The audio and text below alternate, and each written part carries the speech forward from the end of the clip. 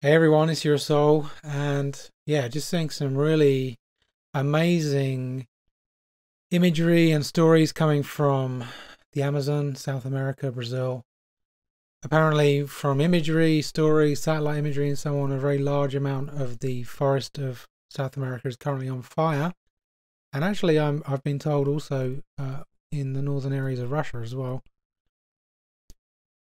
So, aside from the obvious catastrophe for people on the ground and the implications for the rest of the world in terms of pollution and lack of oxygen and all the issues that deforestation brings, there's some really twisted and messed up politics going on behind the scenes of this that we all really need to look at. And I'll go through and explain what I understand to be going on here, and at least on the surface, and then I'm going to bring up some suggestions for what we can do in response to this. Obviously, it's definitely not a straightforward situation. You can't just magically reappear an entire rainforest after you've destroyed it. Uh, but we've got to do the best we can. So, first of all, as you can see on here, they just grabbed a few memes off of off of uh, social media. When Notre Dame was burning, the world's media covered every moment of it, and billionaires rushed to restore it. Right now, the Amazon is burning, the lungs of our planet. It's been burning for three weeks now. No media coverage, no billionaires. Now I don't watch TV, but I'm going to take their word for that. The Amazon rainforest, one of the largest and most important ecosystems on Earth, has been burning for three weeks. The media has virtually ignored it. And this is a satellite shot that's turned up. And you can see this is, I mean, it's a huge area, basically, isn't it? Um, yeah, really shocking. And Obviously, people on the ground are going to do what they can to put the fire out. There's not really much I can do about that. Probably the same for most people around the world, but other than maybe sending the money to help them. This is a video from uh, apparently a couple of months ago where there was also fires burning.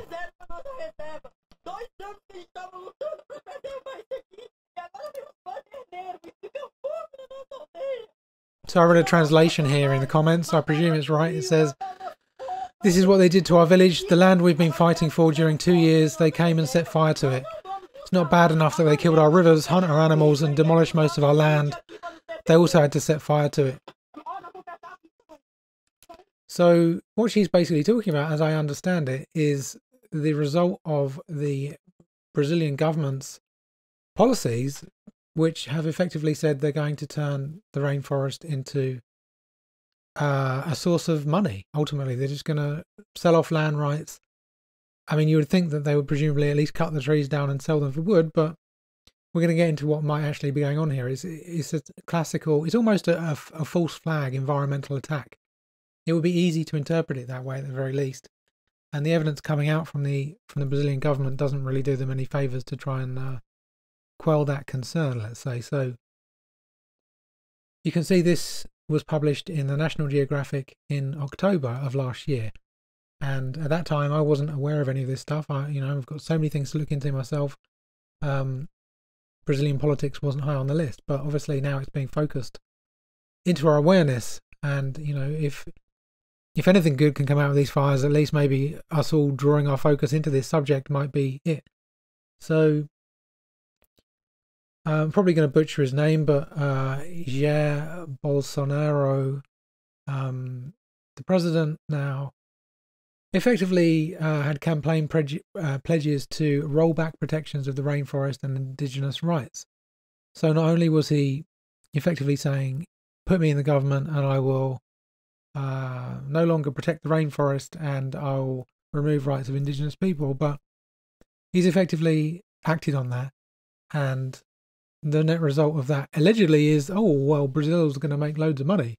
You know, maybe it's probably just him and his cronies who are going to end up making most of that money, but it's understandable in a country where there's so many very, very poor people who now with the internet can see the rest of the world, can see how, you know, stars on social media, even just people in their bedroom are making millions of dollars. I, I can understand how a campaign promise to make these people wealthier even at the expense of the jungles, might get him elected, even though I personally think most elections are completely rigged. But let's set that aside. Perhaps a lot of people who now live in cities have lost their connection to the jungle. I've never been to Brazil, but I know that that kind of thing does happen in general. Uh, as soon as people move away from the nature and the countryside, they kind of just don't understand it after a few generations and don't respect or value it. So we have a quote here from one of the leaders of an indigenous group. We are very worried based on what the president elect has stated. A native leader stated, uh, Beto Marubo from the Javari Valley indigenous land in Brazil's far western borderlands. If what he has promised comes to pass, there will be chaos and upheaval in the Amazon. This was months ago. This was nearly a year ago. This was written. Reports are circulating that Bolsonaro's victory has been bolstered has has already bolstered a sense of impunity among criminal groups that traffic in timber, exotic species, and other riches pilfered from indigenous land. Many brothers tell us there are invasions, people entering the territories with no regard for the rules and no fear of the authorities. So, I mean, I've seen videos from a long time ago where there were people being killed uh, in fights over logging. Basically, they were just going in and cutting down massive ancient rainforest trees, and there were literally gunfights over it, and people died on both sides. And that was before this guy was elected, while there was actual actually some attempt at protecting the land. And there were journalists and investigators also who were murdered, and I've seen documentaries into their murders. So this is a long-standing battle, basically, between people who at that time were criminal gangs trying to exploit the environment, and the people that lived there and people that wanted to protect the environment. Just the same as happens in most other countries to some extent. In Britain, we've had fracking uh, and big, uh, you know, a similar kind of situation with corporations often acting criminally, corrupt governments making decisions that are very bad for the people and for the land, and that benefit only a very small group of people financially. I'd be very surprised if the Brazilian people really saw any financial benefit from this policy. In reality, most of the money is going to be siphoned off, I would imagine, to possibly even overseas corporations. So if we skip forward, so this this story was also published around the same sort of time from the Guardian, calling him a global danger, accelerate climate change instead of reverse it. You know, would be the outcome of his activity. And we've heard recently of how apparently the amount of deforestation taking place in, in that area, even without the fire, as I understand it, was has gone up exponentially. Here's the thing: the counter argument to to the environmental argument is that people are stating, well, the rest of the world, white people, Europeans, have destroyed their land, burnt and used up all their forests. Why shouldn't we be allowed to use our forests? They've got all the money, we haven't. And from a capitalist, short sighted perspective, which is the prevalent one in America and Europe primarily, uh, at least certainly amongst politicians and corporations, there's a certain logic to that. Ultimately, if, if all you value is money, then yeah, why wouldn't you use your resources? Does it really make any difference if you live 50, 60, or 80 years? You're going to die anyway, so what the hell? We might as well just burn up everything. What's the point? That's pretty much the attitude of of a considerable amount of capitalist philosophy, let's say, if you can even call it that. And it's really sad to hear that that's also spread to South America. The tribes, apparently, who have lived in balance and harmony with the forest for a very long time, gradually losing their voice and being ridiculed by people who really have no connection to the earth and have forgotten where they come from. I'm sure that's not everybody in Brazil by any means, but that's certainly a very common perspective that's held by many, many people around the world who somehow seem to think that money made from paper doesn't grow on trees. In fact, ironically, a lot of the money printed now is actually printed on kind of oil based material. So apparently, money doesn't grow on trees anymore. Money is uh, actually just produced from death, aka oil. So they're talking here about deforestation largely being driven by demand for land to grow soybeans, exported to feed livestock, and to expand cattle farms. So, despite people often claiming that this deforestation is actually to somehow magically feed vegans, even though vegans make up a very small percentage of the world's population, the reality is that most of the plants grown full stop on this planet are grown to feed animals to be eaten as meat. And animals require massively more resources to raise for food, pound for pound, than plant foods do that we could be eating. So one good option you have to improve the balance here is to actually go vegan and just adopt a, a plant-based diet ultimately, which is the best for health, confirmed by numerous studies and many, many people from lived experience. That's a side topic, but definitely a very important issue here. So, how else exactly can these people make money and exploit the Amazon? Obviously, they can cut down the trees, sell the wood. There's mining possibilities there on a very large scale. And obviously, there's the potential for, as it's stated here, essentially making massive industrial farms. So, this story is from January this year, 2019. Um, and it states here on uh, Guardian again Hours after taking office, Brazil's new president, Jair Bolsonaro, has launched an assault on environmental and Amazon protections with an executive order transferring the regulation and creation of new indigenous reserves to the Agriculture Ministry, which is controlled by the powerful agribusiness lobby. So he effectively took what should have been a government's role of stewardship and protection of one of the planet's most sacred spaces, let's say, and turned it over to corporations. There will be an increase in deforestation and violence against indigenous people, said Dinaman Tuxa, uh, the ex- executive coordinator of the Articulation of Indigenous People of Brazil, APIB. Indigenous people are defenders and protectors of the environment. So he also took steps to change the policies so that the government would have control over non governmental organizations, which kind of makes them no longer NGOs, right? I mean, a non governmental organization, by definition, doesn't have control coming into it from the government. So if the government controls them, then are they really NGOs anymore? Temporary decree, which expires unless it's ratified by Congress within 120 days, mandates that the Office of the Government Secretary Carlos Alberto dos Santos Cruz supervise, coordinate, monitor, and accompany the activities and actions of international organizations and non governmental organizations in the national territory. Bolsonaro, who has often criticized Brazilian and international NGOs who he accuses of sticking their noses into Brazil, defended the measure in a tweet. More than 50% of national territory is demarcated as indigenous land. Less than a million people live in these places, isolated from true Brazil, exploited and manipulated by NGOs. Together we will integrate these citizens. So he's drawn an imaginary division between the people who are living in the jungles and, quote, true Brazil, even though these people and their lives were there long before anything that he's talking about. It's really quite disgusting if you think about it. Um, and we'll come on to that in the next post even more. He's talking about here having spending cuts on healthcare for Indigenous people. We have figures for the general public that are much below what is spent on the healthcare for the Indigenous. I find that slightly questionable given the extent to which Indigenous people have an extensive knowledge of how to use plants for healing and so on. But anyway, during last year's election campaign, Bolsonaro promised to end demarcation of new indigenous lands, reduce the power of environmental agencies, and free up mining and commercial farming on indigenous reserves. His measure also gave the Agricultural Ministry power over new quilombos, rural settlements inhabited by descendants of former slaves. So we get the idea. Basically, he's very right wing, very capitalist minded, very anti ancestral wisdom, let's say, and basically he views uh, these folks as subhumans, is what it comes down to. Um, and you know, I mean, if you look at some of these people in the pictures, I think there's some down here.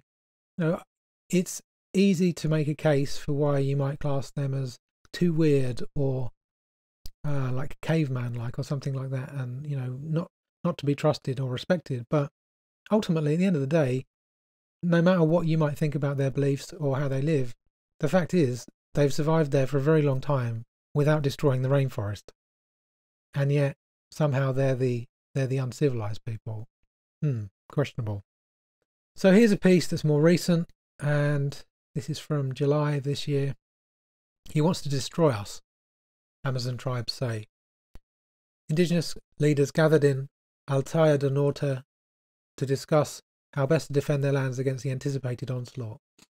Bolsonaro's no good, he said. He wants to destroy the lot of us, bomb our villages. That's the news I heard. So in July, the indigenous people were saying they're, they're hearing that there's plans for literally some kind of war against them. Now, the Amazon's on fire, which would equate to being a war against them. Uh, hmm. I wonder how they managed to predict that. Now, here's the thing this is where we get into the actual conspiracy, let's say, of this, or the, the realistic possibility of what's actually going on. The president is claiming effectively that it's the NGOs now who have set these fires off in order to make him look bad. and to cause problems for Brazil because he took their money away. Now, on the surface of this, that's the most ridiculous thing I've heard in a long time. Ultimately, the NGOs are there, for, allegedly from their own perspective, to help the indigenous people maintain their rights and to protect the environment. So he's making out as if these groups are not really there for that. He hasn't. I don't. I've never seen him say exactly what he thinks they're there for. I mean, maybe he thinks they're there to take government money. I don't know, but um, at the end of the day, there's a lot easier ways of making money, right, than traveling to the jungle to try and get a government to give you money. And in this case, the government is in opposition to you anyway. It doesn't make much sense. And even if that was true, why would you burn the forest down? How would that help? Your claim to get money is that you need to protect the land against corporations and people of that nature coming and mining it and building farms and so on. If you burn the trees down, you've made it easier and easier to justify having farms and mining go on in that place. So his claim literally makes no sense. And we, here's him literally saying this.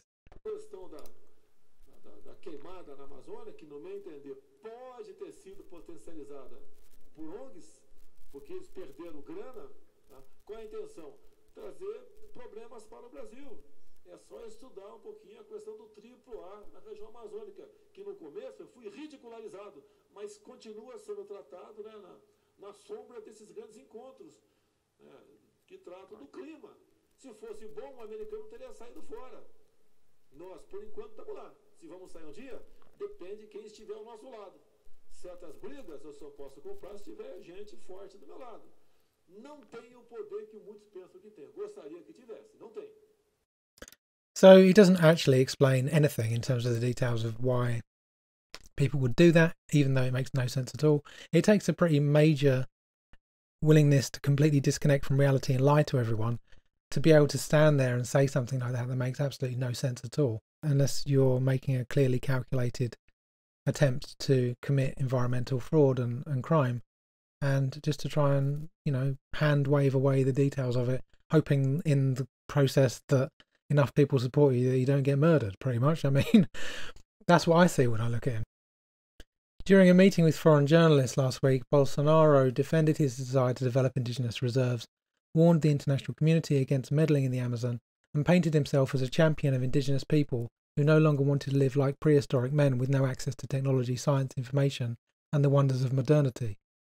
But as they gathered at the headquarters of their indigenous association, Javari activists and elders said that they were determined to resist what they called a Bolsonaro backed assault on their ancestral homes. He sees us as animals, as if we didn't know how to think, said Iwerton Marubo, who hoped foreign funding might help tribes adopt surveillance techniques to safeguard their land. We are much more intelligent than he is. Lucia Kanamari, one of the Javari's few female leaders, said, If the government doesn't support us, we must find a way of protecting ourselves. He has come to leave us in the darkness, but we won't allow it. So, eh, I mean, this is a bit like the plot line to the movie Avatar, even, where you've just got these. It's just political maneuvering, lies, and really like a false flag attack, I would say, where the politicians try to paint a picture which is completely the opposite of all of the evidence that we see what can we actually do if we're outside of Brazil or even in Brazil about this? Now, when I've brought this subject up in some groups that I'm a part of online, surprisingly, the first comments I got were, oh, well, you don't need to worry too much about the oxygen because most of the oxygen, well, we get a lot of oxygen from the oceans. And that was a surprise to me. I really wasn't expecting that. I've never heard that said before. And I went away and looked it up. And apparently, quite a lot of oxygen does come from plankton in the oceans. I don't know that. I've never heard that before, but I'm not going to just deny it and say that's not possible. Maybe it's true. Even though that may be the case, we still need oxygen from the trees. I'm pretty sure. I don't think I've ever seen anybody prove that we don't need oxygen from trees. So I don't accept that somehow because there's plankton in the ocean, it's fine to burn down the Amazon. That's just, to me, that's madness. First of all. Secondly, even if that were true, that doesn't make it right to do that when there's tribes that live there. And, you know, it's fairly obvious to me that one way or another, these fires benefit the politicians and the and the corporations involved. They don't benefit the tribes people or the NGOs. That's just ridiculous. Now, what's you know, people would say historically follow the money. Who benefits from this? Well, it's not the tribes people, is it? And it's probably not the NGOs. Uh, I don't think the NGOs are suddenly going to be hugely funded by the Brazilian government as a result of this. They might get funding from outside the country. However, what's the motivation for using this land and for them wanting to take the land? Well, as already stated, partially it's mining, partially it's wood, partially it's agriculture. So, where's all of that money going to come from to buy the things that they produce? Well, it's going to come from other countries. So, my suggestion, which has been my suggestion for a very long time, is that we become self sufficient.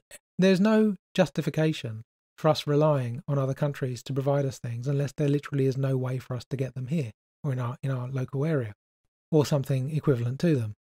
When politicians try to frame everything as if, oh, we must have jobs and we must export to other countries and have trade and all this kind of stuff, well, trade is interesting and great, but if you aren't taking care of being sustainable at home first, then you're really not in balance at all. And frankly, you're opening yourself up to a world of pain. Now, where I live in Britain, most of the forests were gone a long time ago, long before I was born.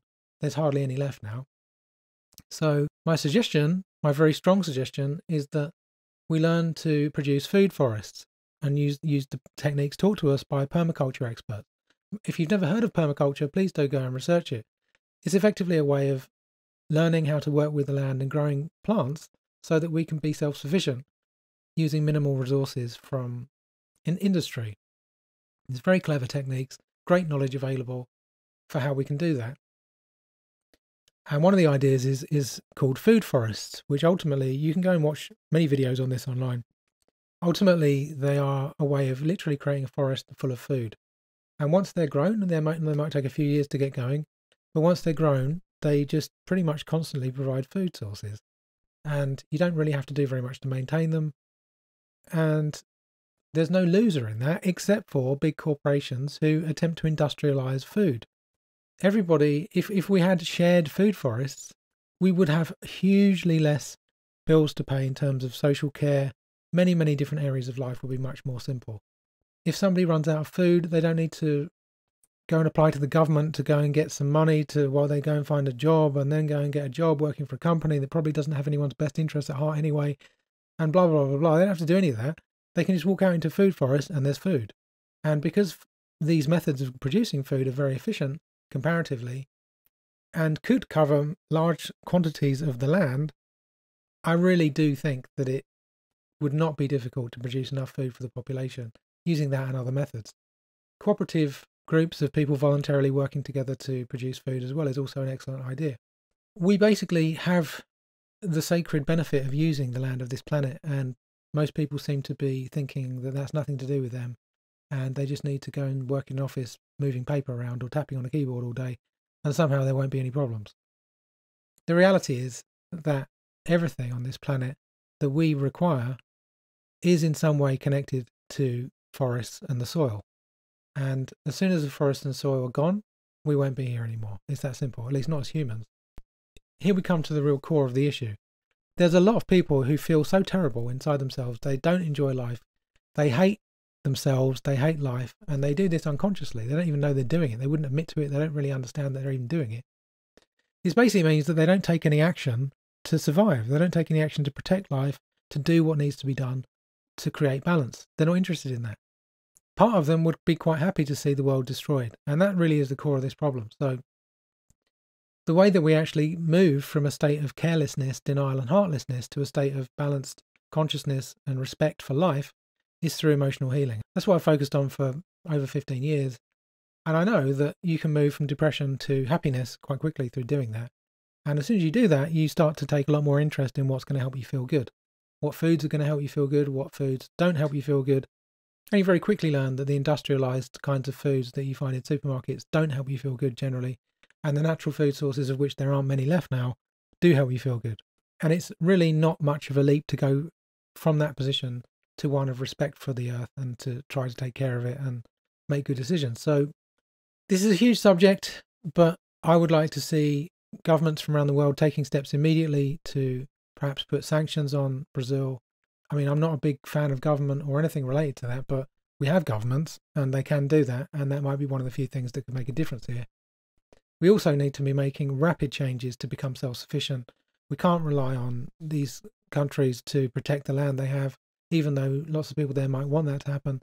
The reality is that it only takes one corrupt government to get in, and suddenly it all goes to shit, basically, doesn't it? So, you know, they they themselves, some of them are saying, well, it's not fair for us to have to protect our forests, even though that would be a really dumb idea, right? But um, you know, we should be able to exploit the forests, and it's not down to other countries to tell us to protect them. Well, you know, I think that's a dumb position, but the flip side to that is we should protect our own forest, and that is true, and we haven't been doing that. So solve the problems that you see in the world at home first. I personally would really like to see rapid, rapid transition away from a kind of money oriented, politically driven madness towards something that's actually practical and that actually solves world problems.